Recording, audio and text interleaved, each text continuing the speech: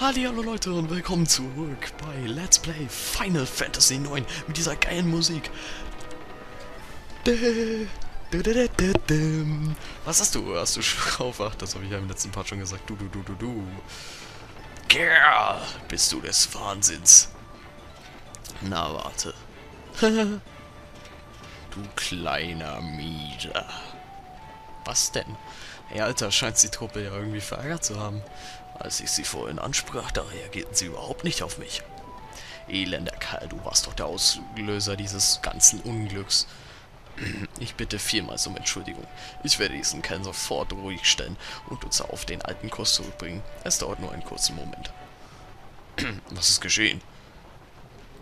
Ja, ja. Wir, dann, was wir gerade gesehen haben, war anscheinend noch ein schwarzer Tenor. Also wohl der dritte. Hm. Ja, ist am Anfang vielleicht ein bisschen lame mit drei Tenoren. Ah! Vivi! Bist du in Ordnung? Ein Knirps wie du war es also, der Nummer 2 erledigt hat. Das hätte ich mir nicht träumen lassen. Gegen mich, Nummer 3, hast du jedenfalls nicht den Hauch einer Chance. Prinzesslein, bleib da, wo du bist, bis ich diesen lästigen Steuernfried aus dem Weg geräumt habe. Oh yeah. Was soll das? Wollt ihr ihn etwa verteidigen? Das finde ich sau nice wie diese Marionetten halt zu ihm halten, weil er so ähnlich ist wie sie. Was ist das? Diese willenlosen, erschaffenen Marionetten handeln selbstständig und wollen auch noch diesen Rotzlöffel in Schutz nehmen. Das bedeutet schon mal, dass diese Viecher anscheinend eigene, einen eigenen Willen entwickeln können, obwohl sie eigentlich willenlos sind. Geht beiseite oder wollt ihr euch etwa mir widersetzen? Ihr Missgeburten. Was fällt euch überhaupt ein? Mit seinem Blitz haut er die alle weg.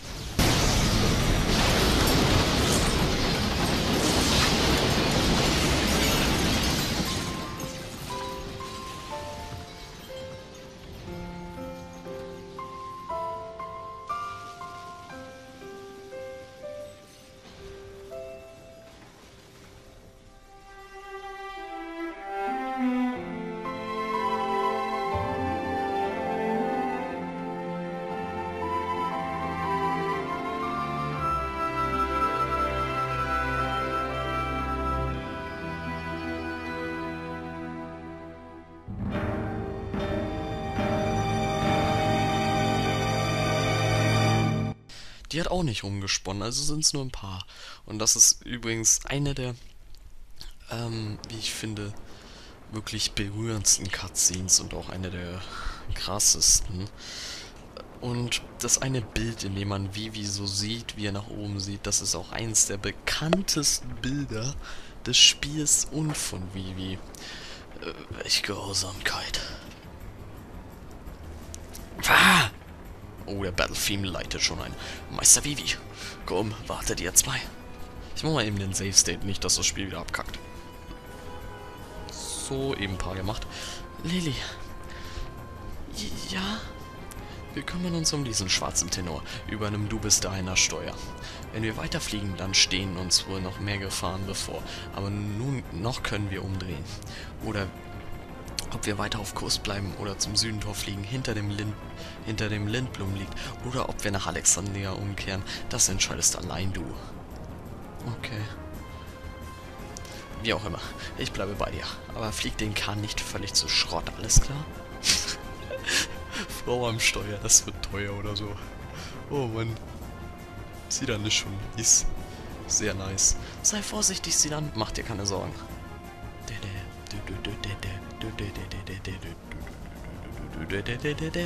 Warum? Warum hast du das gemacht? Du bist doch einer von ihnen. Dass du zwischen ihnen und mir keinen Unterschied ausmachen kannst, zeugt nur von deinem unbegrenzten, von einem begrenzten Horizont, du armseliger Wurm. Selbst wenn es nicht deinesgleichen gewesen sein sollte, das geht entschieden so weit. Was trauert ihr denen überhaupt hinterher? Ob die, wo die herkamen, gibt es doch noch viel mehr. Wer seid ihr Tenöre, Tenöre eigentlich? Oho, damit hätten wir alle beisammen drei Schmeißfliegen mit einer Klappe. Antworte mir gefälligst. Was hättet ihr denn schon davon? Ihr hättet doch sowieso gleich alles hinter... Ihr habt doch sowieso gleich alles hinter euch.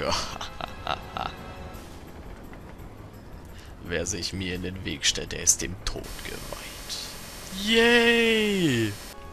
Also, so... Also es gibt so ein paar Bugs, die ich noch habe. Ey, die regen ja richtig auf. Du, du, du, Ihr habt jetzt so den Anfang von diesem, äh, nur das, nicht den ganzen komischen Dings gesehen. Okay, Vivi. Vivi ist in der Trance, das macht den Kampf natürlich etwas einfacher. Magieschwert, wir machen, boah, was waren gegen den jetzt nochmal am besten? Eis mal. Der kann Hades Magie, das heißt, er kann zwei Zauber hintereinander ausführen. Wir machen mal Eis und Blitz. Du, du, du, Zauberkyros geklaut. Das ist ein gut, das ist eine neue Rüstung für unseren Steiny Boy. Bounce! Habe ich volle FPS? Ja, sieht's aus. Also 50 ist sehr normal.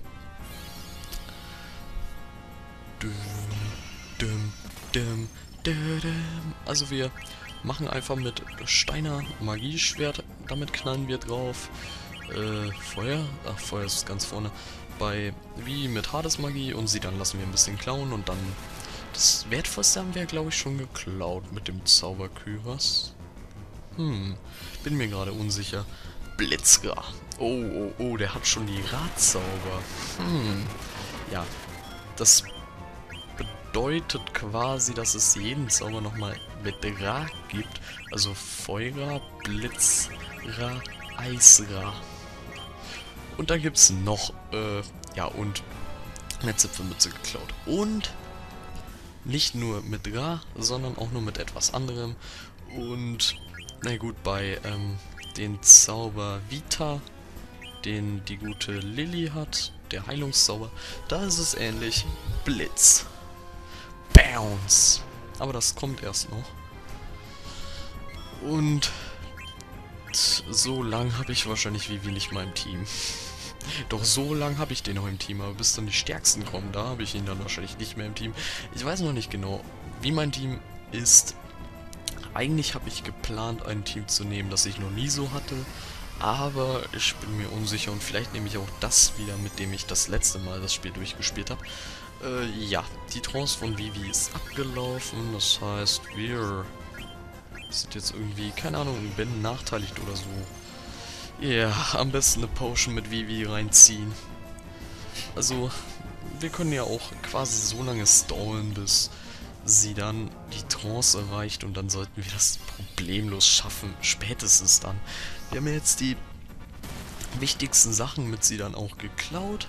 Das heißt, lang, ja, toll, da ist der Kampf schon aus. Also am Anfang sind die Kämpfe nicht so lang.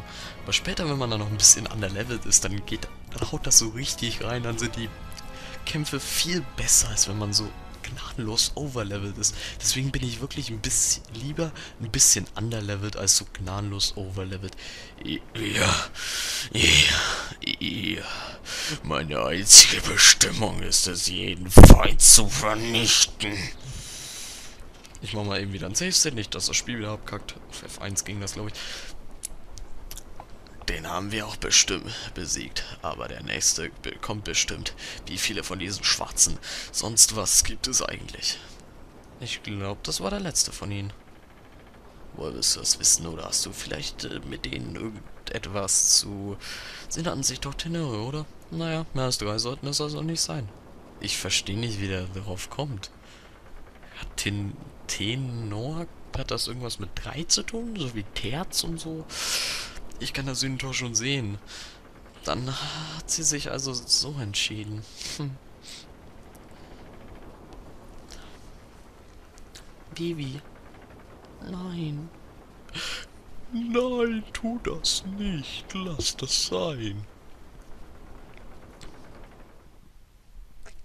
So, jetzt nehme ich, äh, ja, immer so ein bisschen aufnehmen und dann kann ich auch noch schneiden und rendern und hochladen.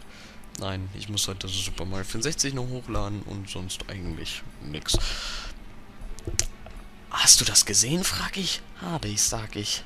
Unsere schönen Schwarzmagier-Soldaten, sag ich. Unsere schönen Schwarzmagier-Soldaten, sag ich. Alle vernichtet, sag ich. Schuld ist nur dieser Verräter Steiner, sag ich. Na nu? Nimm sofort den Steuerknüppel wieder in die Hand, sag ich. Nummer drei kommt zurück, sag ich. Wirklich, frag ich. Hurra, sag ich. Aber irgendwas stimmt mit da, äh, stimmt da nicht, sag ich. Er scheint außer Kontrolle zu sein, sag ich. Ich sagte doch gleich, wir haben ihn zu stark gemacht, sag ich. Und was sollen wir jetzt machen, frag ich. Wir hauen besser ab, sag ich. Wir ziehen uns zurück, sag ich. Abgang, sag ich. Abgang, sag ich. Flupp.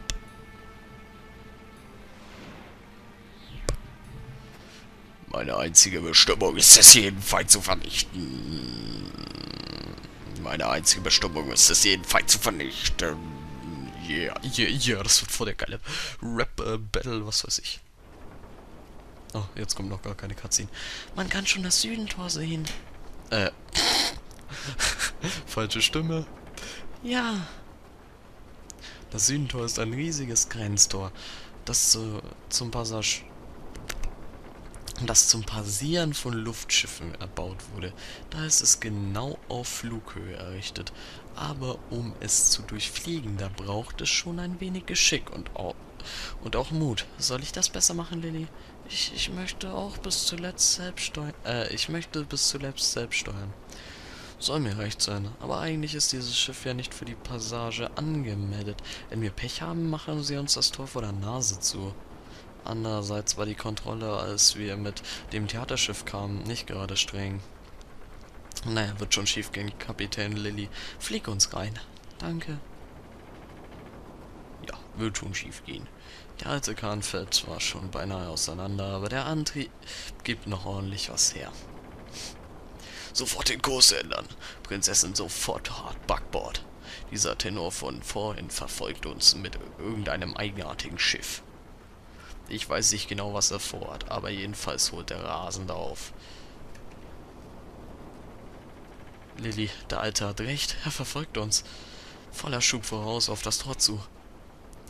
Bist du noch zu retten? Und was, wenn sie das Tor schließen? Unser Chef hat zwar mächtig Schub, aber dem seinen wendigen Flitzer können wir niemals ausmanövrieren. Wir haben keine Chance, ihm zu entkommen, aber wenn wir es durchs Tor schaffen, bevor es zugeht, dann sind wir ihn los, verstehst du? Steiner, gib vollen Schub, Alter. Lilly, halte das Steuerrad, genau im jetzigen Einschlag. Ist gut. Mit vollem Schub und frontalen Kurs müssten wir es gerade noch so schaffen.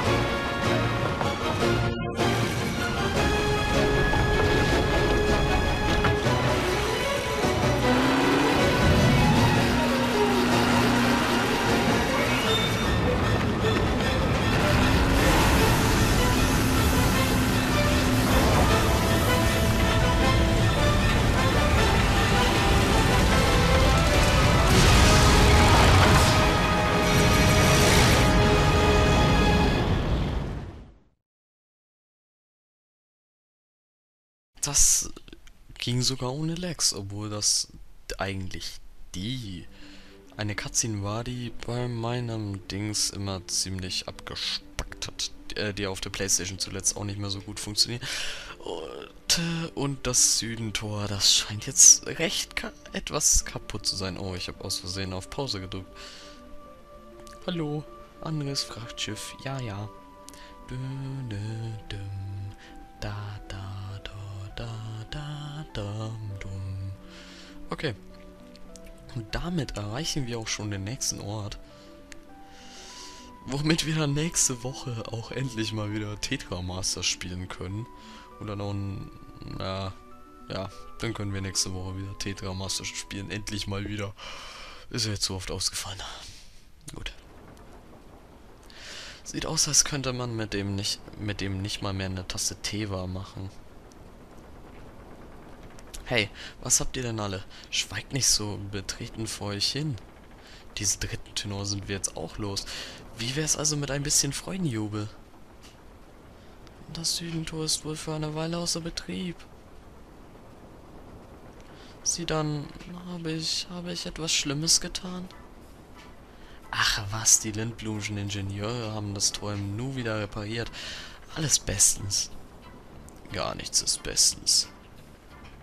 Das Schiff fliegt gleich auseinander. Und vom Südentor rede ich erst gar nicht. Wie konnte ich nur in so etwas verstrickt werden? Die Musik ist auch geil. Wie heißt die nochmal? Keine Ahnung. Gemeinsame Sache mit einem Räuber. Steiner. Jawohl. Ich wollte euch nicht... Ich wollte euch nicht in all das hineinziehen, aber ich bin froh, dass ihr hier seid. Ich danke euch. Prinzessin, was redet ihr da? Ich bin eures Dankes nicht wert. Mein Entschluss steht fest. Bis der Tag unserer Rückkehr in das Schloss kommt, weiche ich nicht von eurer Seite. Lilly, bist du sicher, dass du das willst? So wie der sich anhört, bleibt er bis ans Ende aller Tage wie eine Kle äh, Klette... Bleibt er bis ans Ende aller Tage an dir wie eine Kle Ket wie eine Klette kleben. Ah, danke, sie dann. Da vorne ist, ist schon das Vordertor Lindblums. Ja, Vordertor. Südentor, Vordertor, Nordentor. Ist das das Schloss von Lindblum? Leicht gewaltige Ausmaße. Nein, so sagt der Lilly, weil sie dann kommt ja aus Lindblum. Das liegt daran, dass die gesamte Stadt sich im Inneren des Schlosses befindet. Oder hat das doch Lilly gesagt? Wenn wir in Lindblum angekommen sind, dann ist das wohl die Endstation meiner Reise mit Lilly. Oho. Schade, wo wir uns doch schon so nahe waren. Sie dann? Ich und diese Schwarzmagier oder wie die hießen. Glaubst du, ich bin einer von denen? Hm.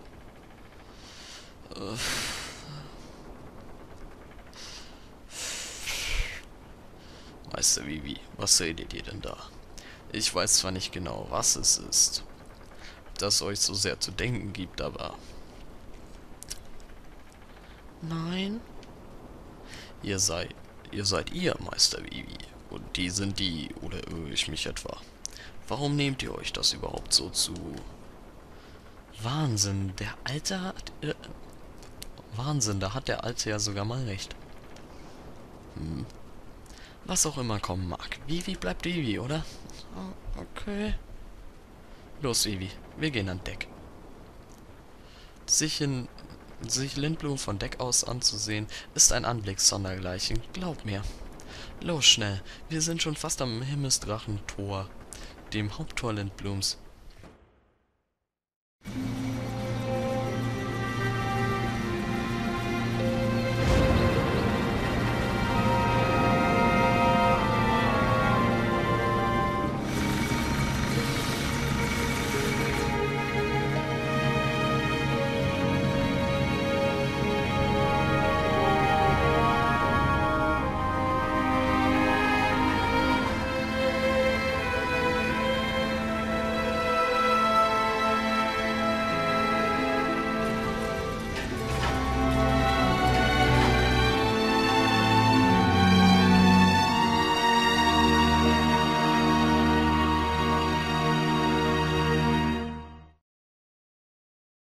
So, und ich habe schon ein bisschen überzogen, deswegen werde ich auch gleich einen Cut machen.